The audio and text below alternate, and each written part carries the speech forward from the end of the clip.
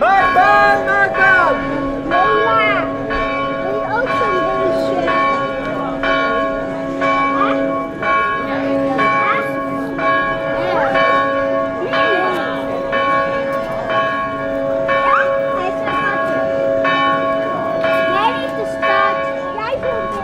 Willem van Oranje kwam uit Dillenburg en haalde op in het kasteel Anna van Egmond, gravin van Buren.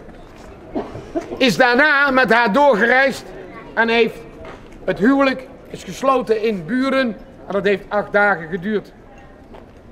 Graven heeft dus eigenlijk maar één dag geprofiteerd van Willem. Maar we hebben hem wel hier vandaag. Willem van Oranje uit Dillenburg. Mag ik naast die Ja, meneer afstand. Ja, ik wel even. Ja, we laten natuurlijk in Graven niet onverlet op het moment dat er eh, feestelijkheden zijn. Of zoals eh, dit weekend Open Monumentendag. Om eh, te laten zien hoe mooi het historisch Graven was vanuit het verleden. En we zijn aan het, aan het rondlopen met Prins Willem van Oranje en Anna van Buren. En dat doen we met het hele gezelschap, de bewaking en het gevolg. Burgers, boeren en buitenlui! Maak baan, maak baan! Willem van Oranje en alle van Buren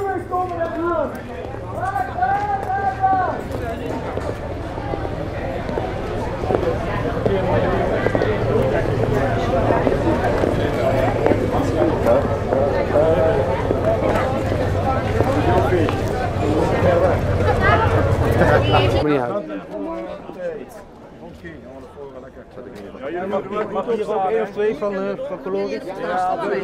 Goed erbij, hè? Dus één die zakken jij, zeg maar hier. 12 september Open Monumentendag 2021.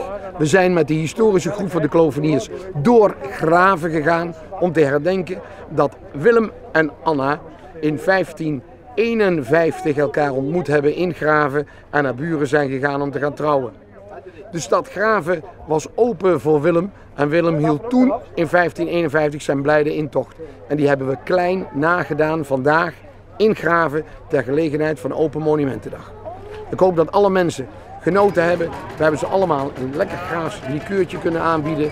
En eh, hoe leuk kan het zijn om Graven op de kaart te zetten op deze wijze. De pijl geeft aan een van de toeristische trekpleisters van Brabant. Visit Brabant, een gebeuren, daar moet u een keer naartoe. En de pijl staat op dit moment op de Loswal in Graven.